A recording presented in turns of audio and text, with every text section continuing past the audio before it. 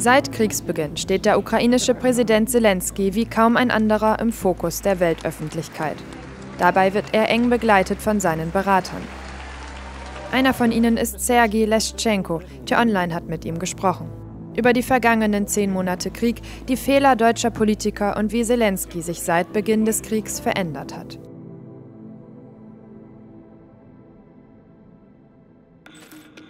Kiew in den ersten Kriegswochen. Während die Hauptstadt schweren Luftschlägen ausgesetzt ist und eine russische Eroberung droht, entscheidet sich das ukrainische Staatsoberhaupt in Kiew zu bleiben. Die Erklärung kommt für viele überraschend, für Leschenko nicht. He woke up er wachte auf, etwa um 4 Uhr morgens am 24. Februar, fuhr mit dem Auto zum Büro und blieb dort für zehn Monate. Ich bin nicht überrascht davon gewesen, weil ich ihn seit 2018 kenne. Ich hatte genug Zeit, um seinen Charakter kennenzulernen und zu verstehen, dass er genau das tat, was für ihn natürlich war, was seine Überzeugung ist. Ich war überrascht, dass so viele Menschen an eine Art Manipulation seines Charakters glaubten. Sie glaubten an ein gefälschtes Porträt von ihm, das von einigen seiner politischen Gegner oder voreingenommenen internationalen Medien beschrieben wurde. Er war mutig von Anfang an.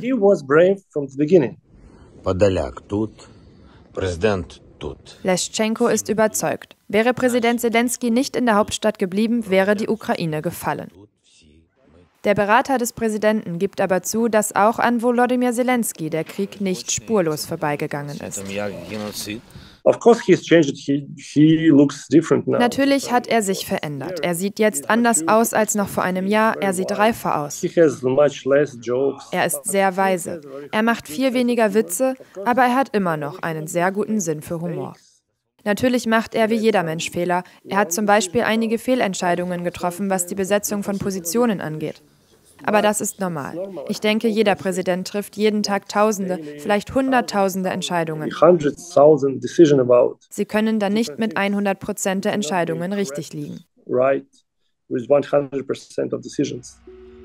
Nicht nur beim Präsidenten, sondern auch bei den Bürgern der Ukraine hat der Krieg Narben hinterlassen, meint Leschenko, auch bei ihm selbst.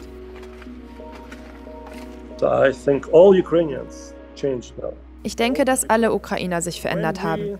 Wenn wir an unser früheres Leben zurückdenken, können wir uns nur wundern, weshalb wir früher wütend aufeinander waren oder Streit hatten. Wie kindisch unser Verhalten war. Meins natürlich auch.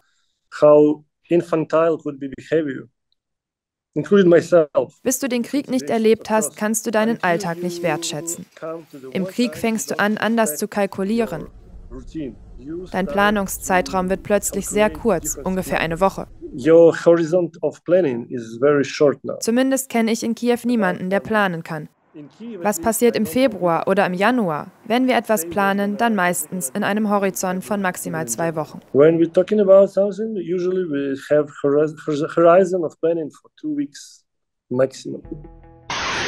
Die Ukrainer können bislang vor allem dank der westlichen Waffenlieferungen den russischen Truppen standhalten. Auch die Bundesrepublik unterstützt das Land mit Kriegsgerät. Doch die Hilfe ist nicht ausreichend, meint der Präsidentenberater gegenüber T-Online. Um an der Front erfolgreich zu sein, brauchen wir moderne Panzer, moderne Flugabwehrsysteme, moderne Haubitzen und moderne Artillerie. Deutschland hat schon jetzt viel zur Verfügung gestellt, aber es ist nicht genug, freundlich gesagt. Aber ich sehe auch den großen Unterschied zu den vorherigen Regierungen. Ich freue mich, dass es ein Umdenken gegeben hat. Altbundeskanzlerin Angela Merkel hält Leschenko vor, dass sie eine falsche Russlandpolitik betrieben hätte, was das Verhältnis zur Ukraine belastete. Nach dem ersten russischen Einmarsch auf der Krim und in Teilen des Donbass im Jahr 2014 genehmigte Merkel keine einzige Waffenlieferung an die Ukraine. 2009 war Deutschland eine von zwei Nationen, die verhinderten, dass die Ukraine der NATO-Mitgliedschaft näher gekommen ist. Es war die Hoffnung zu verhindern, dass Putin dann darauf nicht groß reagiert. Zehn Jahre später sehen wir, dass es die Ukraine überhaupt nicht gerettet hat. Es hat Deutschland und Europa nicht gerettet, es hat nur eine Illusion für Putin geschaffen. Dass er einen Sonderstatus in Europa hat, er Veto gegen die Entscheidungen europäischer Institutionen wie der EU einlegen kann. Das war eine Illusion. Es hat ihn noch selbstbewusster gemacht, um Europa zu diktieren, was es zu tun hat. Und der nächste Schritt war dann der Angriff auf die Ukraine. Das war ein großer Fehler. Sie haben uns nicht gerettet, um Putin nicht zu provozieren. Doch am Ende hat es Putin sogar noch viel mehr provoziert. Es wäre etwas anderes gewesen, hätte man ernsthaft eine EU- und NATO-Mitgliedschaft in Betracht gezogen. Damals, vor 10, 12 Jahren.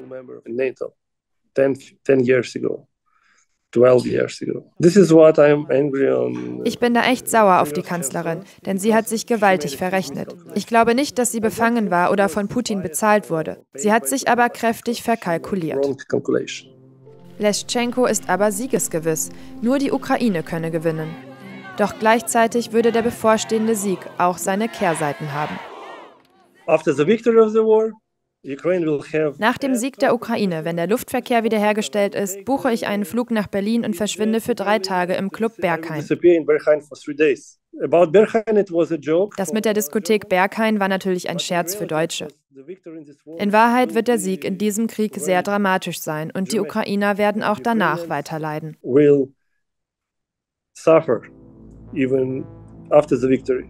Es wird vielleicht Jahrzehnte dauern, bis alles wieder normal ist bis die psychische Gesundheit, unsere Lebensbedingungen, unsere Infrastruktur, unsere Gebäude und Häuser wieder aufgebaut sind. Our life conditions of our infrastructure, of our buildings and houses. Es wird, nett gesagt, ein bitterer Kriegssieg sein. So it will be very difficult celebration, frankly speaking.